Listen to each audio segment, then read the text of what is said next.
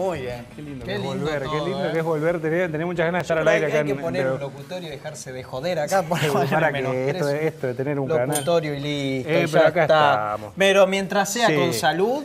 Eso es lo importante. Salud, Salud, Claudio, señor Matías Sáez, Me salud. brinda- me brinda con la- Lo- con con, la- qué quiere con la, la Está otra? bien. Pero me estoy armangando. ¿Cómo lo extrañé?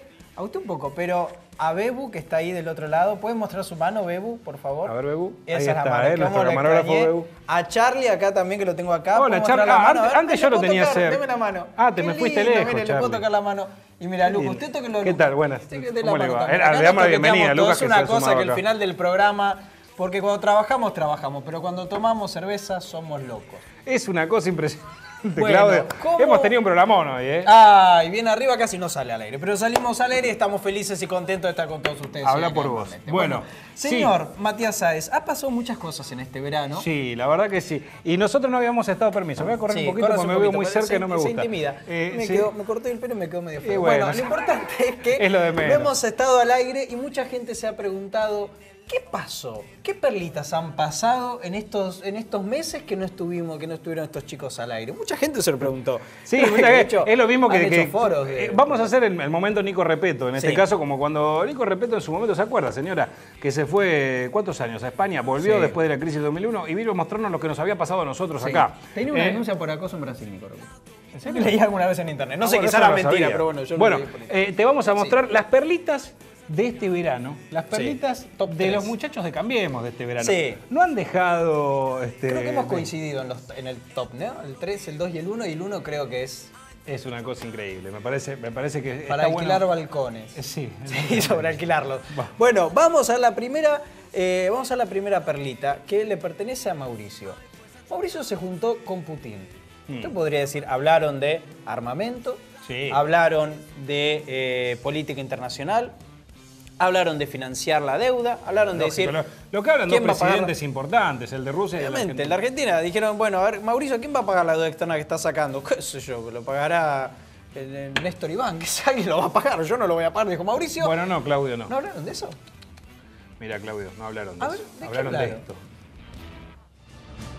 Diciéndole que, como le decía hace un instante, espero venir este año tres veces a Rusia, porque voy a venir con mi hija Antonia, que tiene seis años, que quiere venir al Mundial, habla todos los días del Mundial de Rusia, a los primeros dos partidos de Argentina, pero después la tercera vez espero que sea para la final, que esperemos que llegara a esta final y bueno, y que esta vez tengamos más suerte que la que tuvimos en Brasil, pero igual lo importante es competir, competir bien y bueno, Dios dirá si, Dios y Messi dirán si podemos ganar o no el Mundial. Bueno, muchas gracias de vuelta por, por la invitación y ha sido un, un verdadero placer estas horas que hemos pasado acá eh, compartiendo una agenda de mucho futuro para ambos países. Bueno, Qué linda agenda que Qué compartieron. lindo, porque ya lo hizo co- con Angela Merkel. ¿Se acuerda usted cuando se reunió con Angela Merkel? Eh, bueno, estamos muy contentos. No le vamos a perdonar que ustedes nos hayan ganado Sí, el mundial. Exactamente. Él y a ella le gustó mucho el chiste Sí. en su momento, le hizo eh, una sonrisa así. Sí. Es como el borracho que se sabe un solo chiste y lo cuenta en todos los cumpleaños. Sí, ¿sabe Bueno, hablar? ¿Viste que habla? Mauricio eh, no es como que borracho. permanentemente habla de fútbol.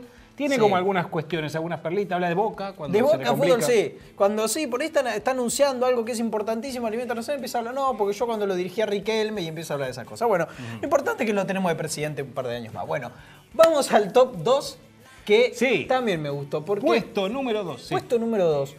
Usted que es un hombre sensible, Sí. ¿no? Y hemos hablado de, de varias cosas sensibles aquí en nuestro programa, hemos hablado de casos muy fuertes. Pará, pará, pará, pará. Y usted sé que se emociona con esto. Urtubey creo que dijo la frase del año, porque no te quedes con lo material. Escuchalo, Urtubey. Urtubey, Escuchalo, que te va a decir algo muy, pero muy emocionante. Mira.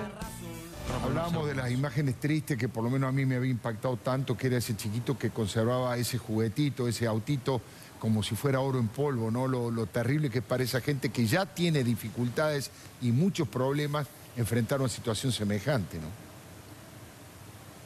Sí, es paradójico ver que perdieron todo y al lado no perdieron casi nada.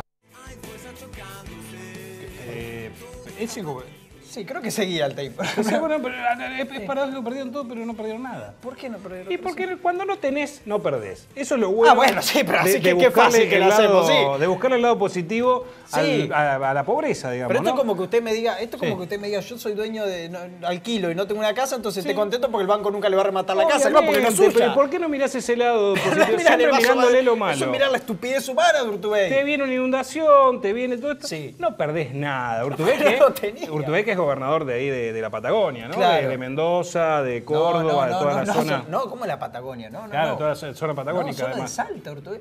No, no, tiene, to- tiene todo, él maneja toda la parte que es, él Usted maneja está trabajando Mendoza. para Patricia Bullrich o para... No, ¿sabes? Para, Para qué? para Michetti. Michetti está Estoy trabajando. trabajando para Michetti. No, Mirá. como volví medio alcoholizado. no, Mirá, Claudio, trabajando para Michetti. el puesto número uno. A ver.